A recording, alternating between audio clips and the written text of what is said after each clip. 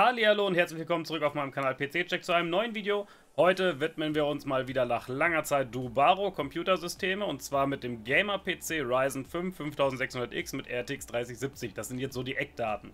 Wir gehen einfach mal direkt durch. Das System ist runtergesetzt von 1699 auf 1499 Euro und wir schauen mal, was da so drin ist. Erstmal zum Bild. Ja, da müssen wir mal in die Seite hier reingucken. Ja, sehr geiles Bild, sehr klein. Auf jeden Fall, der Lüfter ist nicht verbaut. Das kann ich euch schon mal sagen.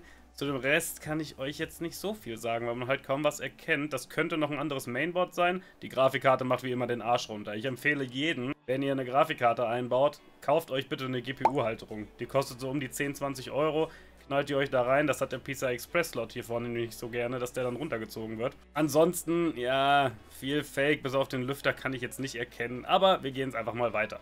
Wir haben als Prozessor den AMD Ryzen 5 5600X 6x3,7 GHz, wird euch im Taskmanager als 12 Kerne angezeigt, also 12 Threads, sind 6 Kerne. 4,6 GHz Turbo, Kostet hier bei Geizhals 269 Euro bei Mindfactory. Ja, was soll ich noch dazu sagen? Der Prozessor ist gut zum Zocken. Zum Streamen reicht er auch. Es kommt immer darauf an, worüber ihr rendert. Das sage ich aber so gut wie in jedem Video. Ich würde über diesen Prozessor jetzt nicht unbedingt rendern, wenn ihr OBS einstellt. Da würde ich eher die Grafikkarte für nehmen. Ich habe bei meinem 5.8er jetzt keine Probleme, aber ich sehe, er kommt irgendwann an seine Leistungsgrenzen. Kommt auch immer aufs Spiel an, klare Sache. Aber ich würde euch empfehlen, wenn ihr streamen wollt, macht das über die Grafikkarte.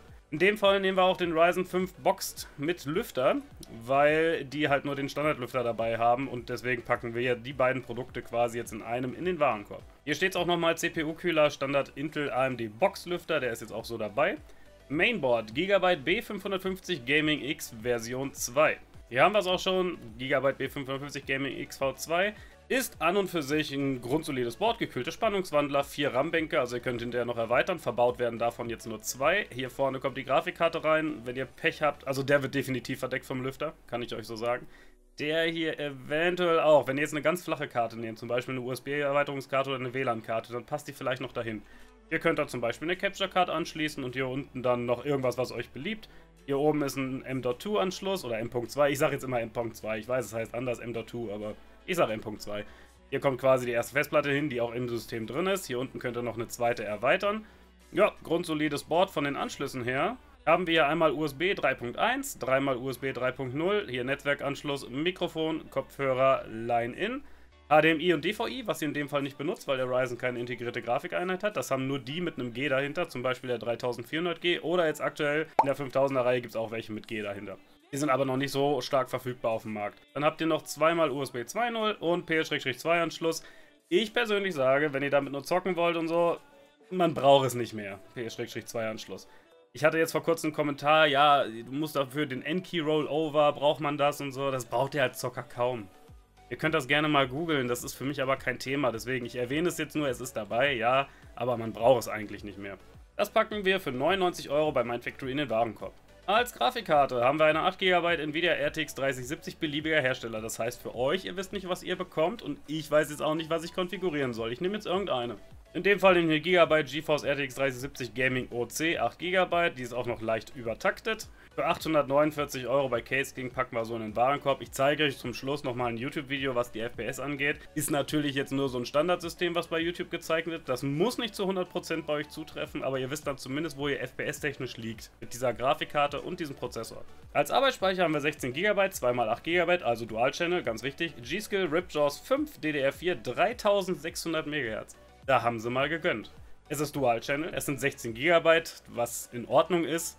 Und es sind die Ripjaws 5. Gegen die habe ich überhaupt nichts. Da habe ich noch nie Probleme mit. Habe ich auch schon mal verbaut. Gar kein Ding. Bei mir sind es immer nur die Aegis. Ich wollte es nur gesagt haben. Hier haben wir sie auch schon in der 3600 MHz Variante. So sehen die auch aus. So sah es auch auf dem Bild aus. Deswegen sage ich, da ist schon mal kein Fake. Die haben also bei dem Bild keinen leuchtenden RAM reingebaut, der nicht da ist. Das war auch unbeleucteter. Das waren, glaube ich, sogar die Ripjaws, so wie es aussah von oben. Für 85,48 Euro bei Mindfactory packen wir so in den Warenkorb. Die Festplatte ist eine 1 TB Kingston NV1 M.2 oder M.2 PCI Express 3.0 SSD, Lesegeschwindigkeit 2100 MB die Sekunde, Schreibgeschwindigkeit 1700 MB die Sekunde, die ist also ungefähr bei der Crucial P1 angesiedelt die ich auch immer empfehle, deswegen sage ich es nur gerade. Ein Terabyte wird erstmal ausreichen, da könnt ihr das Windows-System ein paar Spiele drauf installieren. Wenn ihr hinterher erweitern wollt, könnt ihr das über das Mainboard ja tun. Die Anschlüsse sind da. Ihr könnt noch eine zweite von diesen SSDs einbauen oder eine 2,5 Zoll SSD oder sogar eine HDD 3,5 Zoll, 2,5 Zoll, wie ihr wollt. Für 91 Euro bei Mindfactory packen wir so in den Warenkorb. Das Netzteil ist ein 750 Watt EVGA Supernova 750 GQ Modular 80 Plus Gold. Gold zertifiziert ist schön. 750 Watt für dieses System auch völlig ausreichend. Da könnt ihr hinterher sogar noch ein bisschen erweitern. Es könnte sogar für eine 3080 reichen. Da wird zwar irgendwann eng, aber das Netzteil ist modular. Es hat genug Luft nach oben für Leistungsspitzen von der Grafikkarte oder dem Prozessor. Überhaupt kein Ding. 89,90 Euro bei Equipper. Packen wir so in den Warenkorb. Das Gehäuse ist ein Co-Link Observatory RGB schwarz. Kann ich euch von der persönlichen Meinung nicht viel zu sagen. Er hat vorne drei Lüfter verbaut, hinten ist ein Lüfter. Wie die qualitativ sind, wie gesagt, hatte ich noch nie in der Hand. Vom Design her auch genug Platz. Hier kommt das Mainboard rein, hier die Grafikkarte, die hat sogar noch genug Raum nach vorne. Gibt ja Gehäuse, die haben hier vorne noch so einen Käfig, wo die Festplatten reinkommen. Der ist in dem Fall jetzt hier unten. Das heißt, die Grafikkarte hat genug Platz. Es gibt ja teilweise bis zu 350 mm Grafikkarten und die kriegen dann irgendwann Probleme, wenn hier noch so ein Käfig wäre. Vom Luftstrom her ist das auch völlig ausreichend. Für 78,17 Euro bei eBay packen wir so in den Warenkorb. Betriebssystem ist in dem Fall nicht dabei, bekommt ihr auch bei meinem Partner für 14 Euro bei CDK Deals oder kauft es halt bei Geizhals für 26 Euro, wie ihr möchtet. Service 2 Jahre Garantie, Retourenschein im Reklamationsfall, das heißt, ihr schickt das Ding dahin, da wird es repariert. Ich jetzt so gehört, die brauchen circa eine Woche. Das war jetzt mein letzter Stand. Die Mainboard-Anschlüsse sind wir eben schon drauf eingegangen. Grafikkarte hat einmal HDMI und dreimal DisplayPort, das haben die meisten. Gehäuse hat nochmal zweimal USB 3.0 und einmal USB 2.0, wird direkt auf dem Mainboard angeschlossen. Einmal noch Kopfhörer und Mikrofonanschluss. Dazu bekommt ihr wieder Bullshit Internet Security, ein Jahr Lizenz, könnt ihr auch in die Tonne kloppen, wisst ihr ja. Und dann wären wir auch schon beim Ergebnis. Hier ist die SSD, hier ist der Ryzen mit Lüfter, hier ist der RAM-Speicher, Grafikkarte, das Mainboard, das Gehäuse und das Netzteil. Und da kommen wir auf einen Gesamtpreis von 1558,22 Euro. Das System soll kosten 1499 Euro. Das heißt jetzt für euch im Umkehrschluss, das System ist günstiger, als würdet ihr die Teile selber bestellen und selber zusammenbauen. Ich sage ja sonst auch manchmal bei Mindfactory zusammenbauen lassen, dann wäre es natürlich noch teurer. Von der Konfiguration her ist es in Ordnung. Kann ich gar nicht drüber meckern. Und preislich gesehen 50 Euro günstiger, als würdet ihr es selber zusammenbauen. Also, kann ich jetzt nichts Schlechtes drüber sagen, wirklich nicht. Ich hätte vielleicht Bevor ihr mich jetzt wieder in der Luft zerfetzt, hätte ich das Mainboard getauscht. Es würde mir von den Anschlüssen her nicht genügen und vom Design her mag ich es auch nicht so. Ich hätte jetzt von meiner persönlichen Seite gesagt, nehmt das Gigabyte B550er Aorus Pro 2 oder das MSI Tomahawk, wie ihr möchtet. Ihr seht es ja an den Anschlussmöglichkeiten, das würde aber wieder 50 Euro mehr kosten. Hier hätten wir es auch mal zum Vergleich. Hier habt ihr wieder vier RAM-Bänke, gekühlte Spannungswandler. Die I.O.-Blende sieht natürlich besser aus, finde ich. Muss euch nicht zusagen. Ich finde es schöner. Ihr habt da gekühlte SSD-Pads oben drauf. Das muss auch nicht unbedingt sein. Wenn ihr jetzt nicht Terabytes an Daten die ganze Zeit hin und her schiebt, wird die auch nicht zu heiß. Und wenn sie zu heiß werden würde, taktet sie einfach runter. Das ist halt bei einer SSD so. Ihr habt also gekühlt, ist jetzt kein Muss, aber ich wollte es erwähnt haben. Der Slot wird von der Grafikkarte sowieso verdeckt und hier unten habt ihr halt nochmal drei Anschlüsse, wie das andere Board auch. Ihr habt noch ein paar mehr Anschlussmöglichkeiten hier. Ihr habt 6 mal USB 2.0, USB 3.2, hier ist nochmal USB-C, USB 3.2. Die sagen USB 3.2. Das hier wird 3.0 oder 3.1 sein, die blauen hier. HDMI benutzt ihr sowieso nicht. Ihr habt da dafür aber noch Toslink-Anschluss und 7.1-Systemanschluss. Das müsst ihr aber selber wissen, ob ihr sowas braucht und ob ihr wirklich so viele USB-Anschlüsse braucht. Wenn ich ihn konfigurieren würde, für mich, würde ich so machen. Würde ich das Board noch reinnehmen für ein Fuffi extra. Ja, also alles in allem. Ich packe euch den Link in die Beschreibung. Wenn ihr jetzt gerade einen Gaming-PC haben wollt, der so auf, sag ich mal, auf hohen Einstellungen so um die 100 FPS packt in einigen Spielen, dann ist das die richtige Wahl für euch. Hier kommt es jetzt nochmal zu dem angesprochenen, in Anführungszeichen, FPS-Test. Ich habe mir jetzt einfach ein YouTube-Video rausgesucht, genau mit den Komponenten. Also nicht eins zu eins, so halt der Prozessor und die Grafikkarte, die sind gleich, der Rest ist immer so ein bisschen variabel. Und dann seht ihr hier jetzt ungefähr die Average FPS, die die in den Spielen packen. Bei Call of Duty, Black Ops Cold War auf High-Einstellung, also alle sind hier auf Hoch eingestellt. Hoch- oder epische Einstellung. Eins von beiden. Ich habe mir die eben einzeln so durchgeklickt, da habe ich das gesehen. Also ihr habt da immer so knapp 100 FPS, was auch völlig ausreicht erstmal. Es ist jetzt natürlich so eine Sache, wenn ihr jetzt hergeht, ihr habt einen 144 Hertz Monitor. Dann müsst ihr hergehen und da vielleicht die Qualität ein bisschen runterschrauben bei dem Spiel. Dann kriegt ihr diese 144 FPS auch überhaupt kein Ding. Nur rechnet damit, wenn ihr auf hohen Einstellungen spielen wollt, werdet ihr diese 144 FPS zumindest in dem Spiel jetzt gerade nicht erreichen. Dann haben wir hier noch Godfall. 127 FPS im Schnitt. Hier droppt er so ein bisschen, je nachdem wie viel Action da jetzt im Game ist. Hier haben wir Assassin's Creed Valhalla. 78 FPS im Schnitt. Ich persönlich sage, ab 60 FPS ist alles flüssig spielbar. Es kommt natürlich auch auf den Monitor an, den ihr habt. Ein Unterschied ist schon zwischen 60 FPS und 144 FPS oder Hertz am Monitor. Das ist ganz klar. Bei Watch Dogs Legion habt ihr so ungefähr 71 FPS, reicht also auch aus. Für einige vielleicht noch ganz interessant Fortnite. Äh, da brauchen wir uns nicht drüber zu unterhalten. Das läuft gefühlt auf jedem Toaster. Und Werbung, ja danke, ich, ist immer dasselbe. Gut, das wäre soweit mit dem System. Also ich kann es wirklich empfehlen. Mit einem anderen Mainboard vielleicht, aber sonst so, auch wenn ihr dieses Mainboard nehmt, kein Problem. Jetzt muss ich noch eine Sache ansprechen. Ich habe von einem Zuschauer eine Mail bekommen. Ich habe mein Steam schon wieder offen gelassen, sehe ich gerade dass er Probleme hatte mit seinem System, dass der Prozessor zu heiß geworden ist. In seinem Fall war das dieses System mit einem 5600X und der RX 6700 XT. Er sagte, der wird zu warm beim Zocken. Er hat den Support angeschrieben von Dubaro und er hat folgendes als Antwort bekommen. Ich blende euch das jetzt ein, ich lese es jetzt von meinem anderen Monitor mal ab.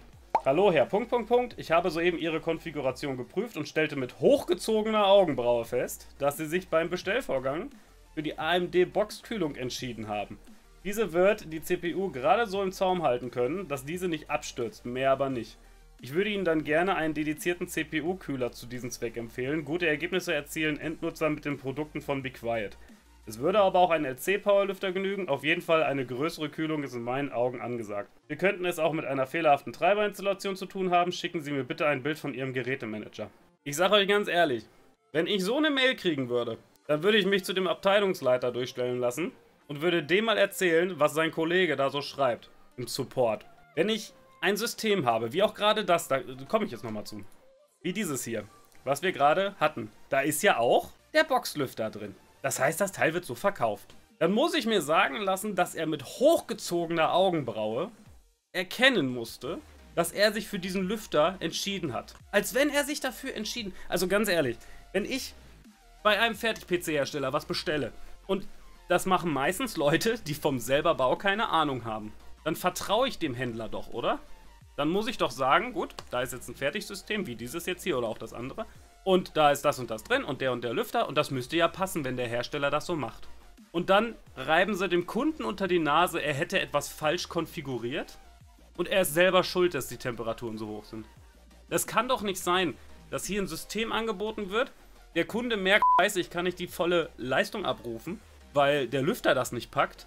Und dann wird in einen Kopf geworfen, ja, du hast es so gekauft, wie wir es zusammengestellt haben, ist trotzdem falsch. Was ist denn das? Das kann man auch anders sagen. Man spricht mit Kunden anders. Er hätte sagen können, wir haben erkannt in Ihrem System, dass der AMD Boxlüfter drin ist. Wir würden Ihnen empfehlen, eventuell den Lüfter zu tauschen. Bumm, fertig. Aber der macht das so vorwurfsvoll. So richtig so, ja, du bist doch selber schuld. Du hast doch den Boxlüfter genommen, den wir rein konfiguriert haben. Jetzt doch wissen müssen, dass er zu heiß wird. Sowas regt mich auf. Ich habe hier noch ein paar andere Sachen in der Röhre von Agando. Die werde ich euch in den nächsten Videos noch ein bisschen nahelegen. Ne? Also ganz ehrlich, sollte das von Dubaro jemand sehen, ich bitte euch, geht mit euren Kunden nicht so um. Formuliert es anders. Ja, der Boxlüfter, der reicht eventuell nicht. Dann, oder schreibt es hier in die Empfehlung rein. Dass ihr dann sagt, pass auf, äh, es wäre besser, wenn du einen Be Quiet Lüfter oder so nehmen würdest. Aber doch nicht so mit hochgezogenen Augen. Was ist das denn für eine Formulierung? Naja, ähm, ja, da muss ich jetzt auch noch was zu sagen gerade. Ich habe ja gesagt, ich empfehle das System so. Ähm, konfiguriert einen anderen Lüfter rein weiß, das kommt jetzt ein bisschen spät, klar, aber vielleicht den Pure Rock 2 Silver. Oder den Shadow Rock Slim. Irgendwie sowas. Dann wird dann zwar noch ein bisschen teurer, aber habt ihr Ruhe, was die Temperaturen angeht. Also sowas geht gar nicht.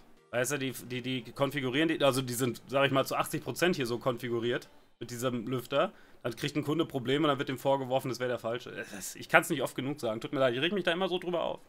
Ich war früher selber selbstständig in diesem Bereich. Wenn ein Kunde zu mir kommt und sagt, ey, hör mal, der wird immer so warm, was können wir da machen? Dann sage ich, hier, pass auf, gib dir den und den Lüfter. Und nicht, du bist selber schuld musste erkennen mit hochgezogenen Augenbrauen, dass der Lüfter... Nee, sorry. Also, konfiguriert hier noch ein Big White rein oder irgendwas anderes, was euch hier beliebt. Und äh, ich würde jetzt, sage ich mal, den Pure Rock 2 Silver nehmen, der wird das schon packen.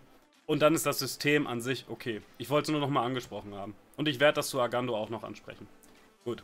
Dann vielen Dank fürs Zuschauen. Bis zum nächsten Mal. Lasst einen Kommentar da, falls ihr auch schon Erfahrungen mit Dubaro gemacht habt. Positiv oder negativ, ist egal.